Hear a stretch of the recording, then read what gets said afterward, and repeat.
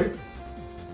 はい、えー、ママン本部のカントリーベース樋口です、えー、ママンのメッセージリレー、えー、これから始まっていきます。全部で4部作になっておりますので、えー、ママンのお家を手掛けられている素敵な加盟店さんを皆様、えー、ぜひ楽しんでご覧になってください、えー、みんなで一緒に頑張っていきましょう。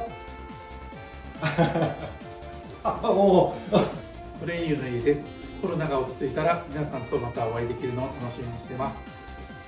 せーの。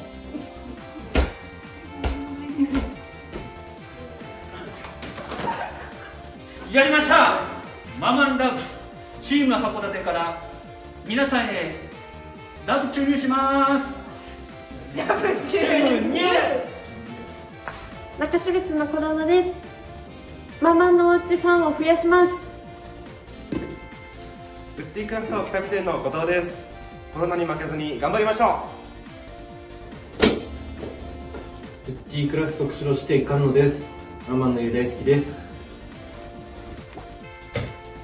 青森県八戸市ママン八戸溝江ホームの溝江です。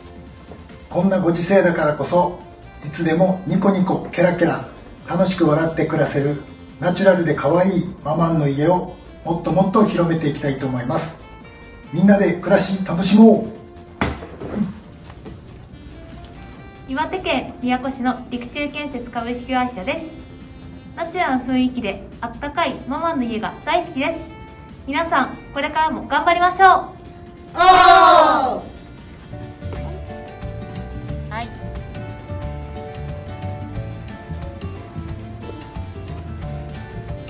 ラブ。こっちに投げます。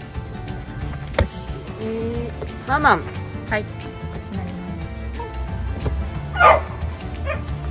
クラフィットホームは愛着のある家づくりでがっちり。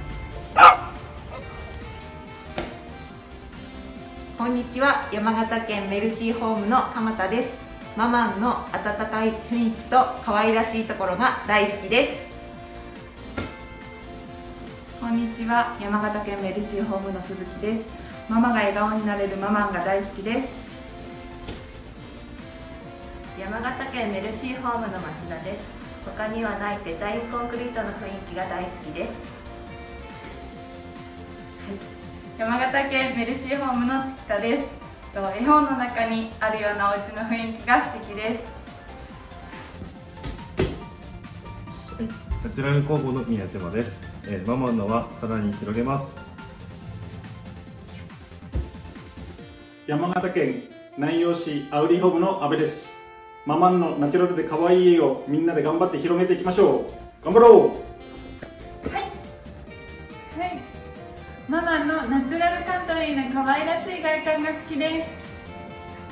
私もママのちょっとアンティックっぽい外観が大好きです。ママングループの再会を願って明るい未来へ。レッツゴー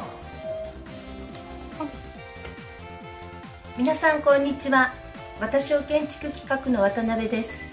早くコロナが終わって全国大会で皆さんにお会いできることを楽しみにしております。全国にたくさんの素敵なママが建てられるように皆さん一緒に頑張りましょう。はい、えー、福島でママの家に行ってます。はいママン本部のカントリーベース加藤ですえーと、これで北海道東北エリアの動画は最後になります。皆さんご協力ありがとうございました。でこれからまたですねこの動画4部作になっておりますのでまた続きますのでぜひ見ていってください。ママンファイト